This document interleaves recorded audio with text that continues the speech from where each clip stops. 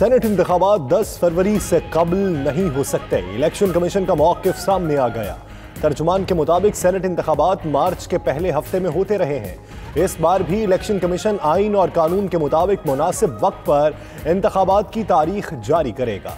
जराये के मुताबिक सेनेट इंतबात ओपन बैलेट से कराने के लिए वज़ीर अजम की हिदायत पर रेफरेंस की तैयारी जारी है।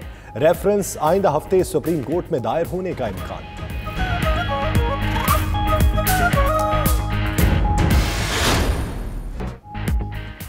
तमाम जमातों को पार्लियामान के तकदस और जमहूरी इकदार की पासारी को यकीनी बनाना चाहिए। वज़ीर अजम इमरान खान की स्पीकर कौमी असम्बली से गुफ्तु कहा पार्लियामेंट की असल ताकत आवाम की खिदमत और आइन की पासारी है। सेनेट इंतबात से मुतल मामला पर वज़ीर अजम की जेर सदारत इजलास कुछ देर में होगा। इमरान खान हुकूमत और पार्टी के तर्जुमानों को लाइन ऑफ़ एक्शन समझाएँगे।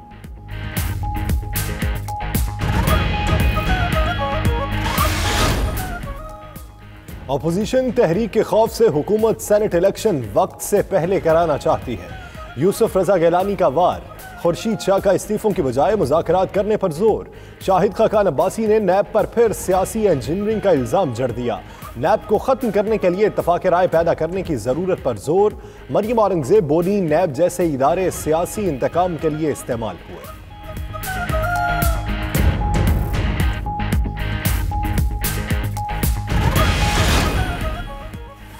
जे यू आई रहनुमा मौलाना शिरानी की मौलाना फजल रहमान पर तनकीद। जे यू आई सरबरा को सिलेक्टेड करार दे दिया। कहा जमीयत उलमा इस्लाम किसी की जागीर नहीं। फिरदौस आशिकवान कहती हैं, मौलाना शिरानी ने कौम को पी डी एम सरबराह का असल चेहरा दिखा दिया। बनावट के उसूलों से हक़ छुपाए नहीं जा सकते।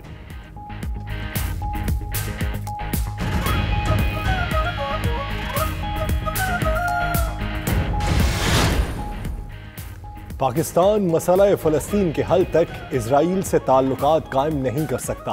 वज़ीर खारजा शाह महमूद कुरैशी ने एक बार फिर वाजे कर दिया, कहा इसराइल को तस्लीम करने के लिए पाकिस्तान पर किसी का दबाव नहीं। पाकिस्तान के मफादात को सामने रख कर फैसले करने हैं। वज़ीर अला पंजाब उस्मान बुजदार की तबीयत नासाज, तमाम मसरूफियात तर्क कर दी। वज़ीर अला पंजाब का कोरोना टेस्ट ले लिया गया। उस्मान बुजदार ने खुद को करंतना कर लिया है।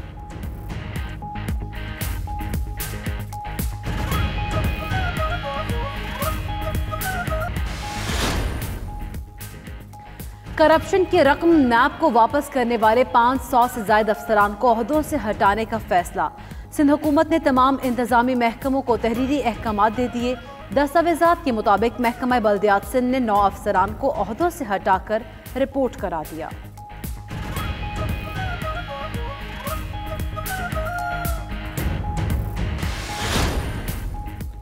पंजाब और खैबर पख्तूनख्वा के चार हलकों में जिमनी इंतबात का शेड्यूल जारी। इलेक्शन कमीशन के मुताबिक दो कौमी और दो सूबाई हलकों में पोलिंग 19 फरवरी को होगी।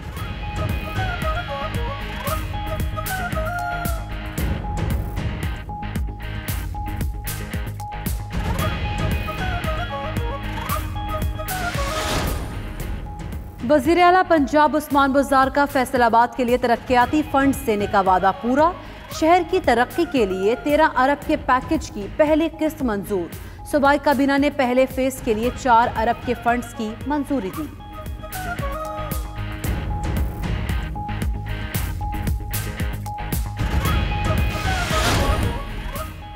अजीम सूफी बुज़ुर्ग हज़रत शाह रुकन आलम सोहरवर्दी रहमतुल्लाह का सात सौ सातवां उर्स मुबारक।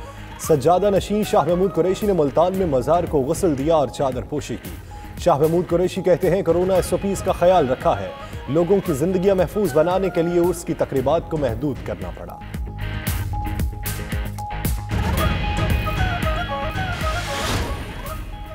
कौमी क्रिकेट टीम के खिलाड़ियों के लिए खुशखबरी। पीसीबी ने खिलाड़ियों को फैमिलीज़ के साथ रखने की इजाज़त दे दी। होम सीरीज़ में भी फैमिलीज़ को साथ रखने की इजाज़त होगी। पीसीबी जराये का कहना है कि न्यूजीलैंड में करंतना की वजह से खिलाड़ियों को जहनी कुफत का सामना करना पड़ा।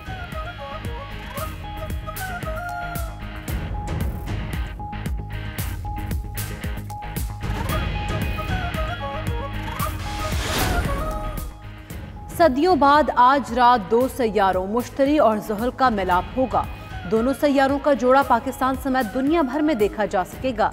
ये सैारे आखिरी बार जुलाई 1623 में एक दूसरे के करीब आए थे।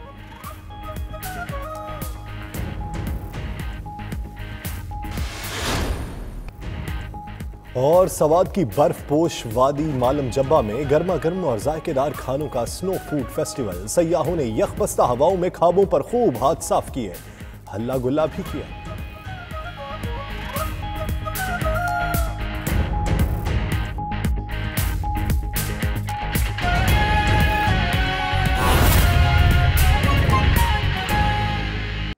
अभी आपको बराह रास्त लिए चलेंगे इस्लामाबाद, जहाँ तर्जुमान नून लीग मरीम औरंगज़ेब इस वक्त पार्लियामेंट लॉजिस में प्रेस कॉन्फ्रेंस कर रही हैं।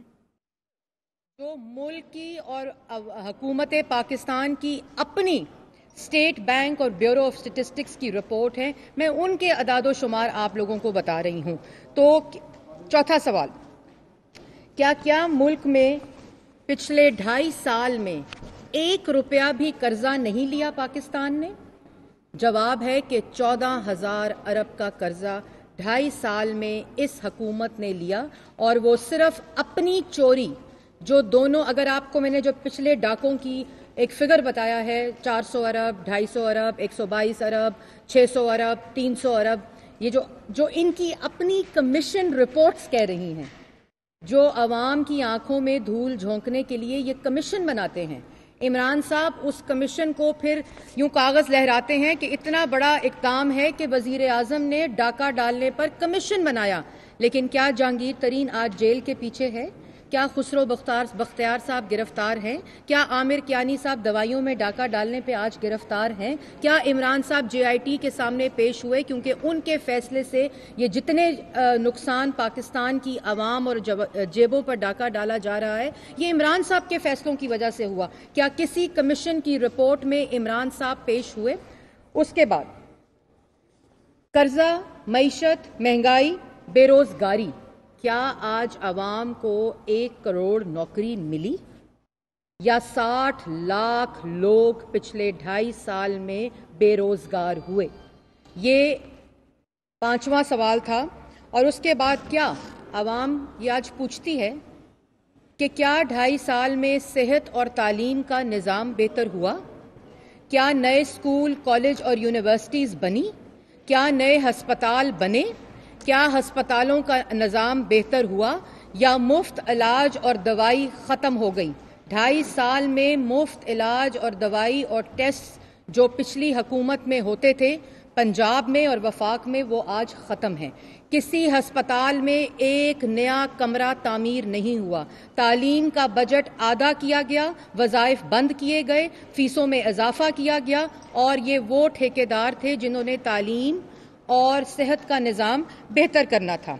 क्या एक मेगावाट बिजली, एक मेगावाट बिजली सिस्टम में डाली गई?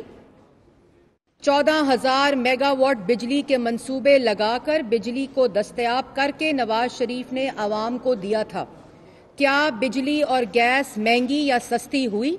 ढाई साल के अंदर एक मेगावाट बिजली सिस्टम में ऐड नहीं हुई।